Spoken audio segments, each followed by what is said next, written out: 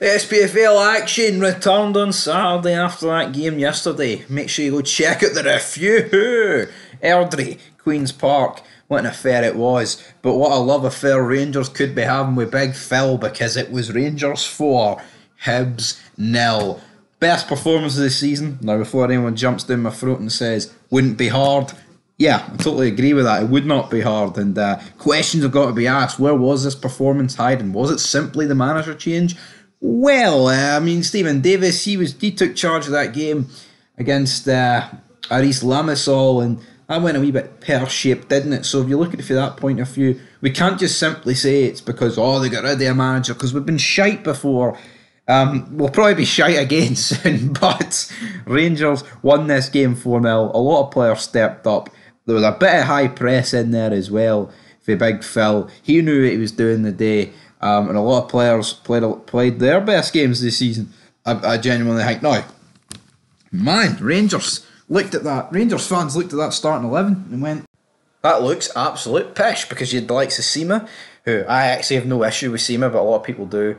Um, then you've got Scott Wright. You've got Dessers. Um, what's the other bastard called Lammers? That guy, the great guy, the guy that scores a million goals a year. Man, we all we all know who he is big uh, Sam Lammers. But you know what? Like part of me looking at the team went, this is going to be a disaster, isn't it? and I just think there's a lot of hype around Hibs recently. Obviously appointing Nick Montgomery, and they've got a different style of playing. You know, the Ange Postecoglou way, kind of, sort of, maybe, maybe isn't he? Maybe is. But Hibs were pretty disappointing for me. I, I mean, I'm glad they were, um, but I think Hibs were no by no means at their best. And Rangers probably it it was Rangers' best for a long time. I wouldn't say you know, like in decades, obviously, or you know, like a, a year. I'm pretty sure under Beale with probably better performances as well. Um, like most notably that I can remember, and I think actually against Hibs and Hearts in Edinburgh, we put in a re- really good performances. Um, but like I say, this game kick off. Scott Wright does what Scott Wright does, something stupid trips up LU, and I'm like, damn. Lammers then misses. Dessers then misses a volley. Vente misses a volley that came for a Connor Goldson mistake.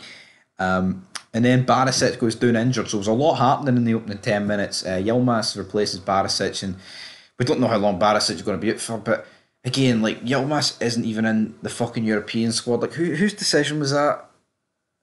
I, I know I don't get, right? He's not in the squad, but why can't it like why, why can't we just put him in now that Barisic is injured?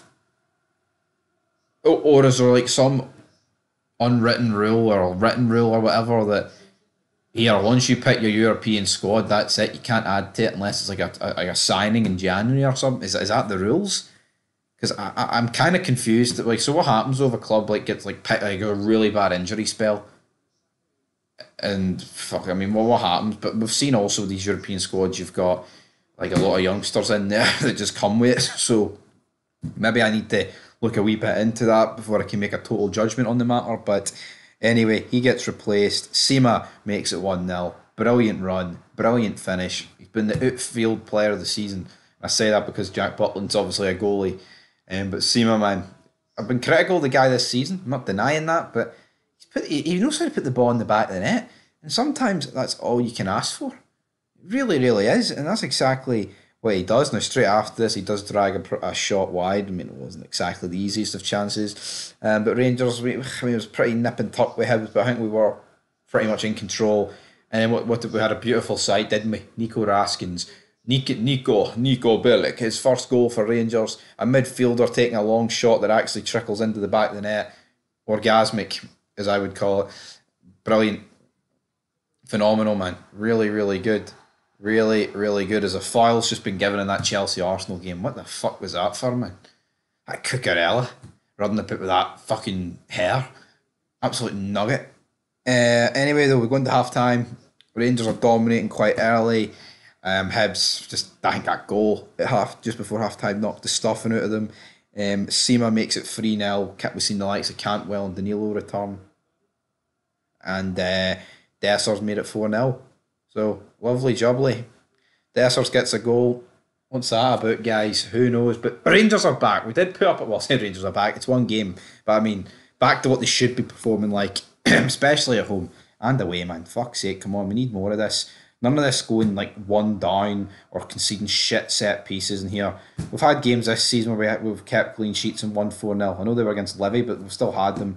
So, you know what? Rangers are going to need to prove to me and most people that are Rangers fans and, you know, pundits, etc., that they can do this over a series of games and not just these one off games because this is this first game.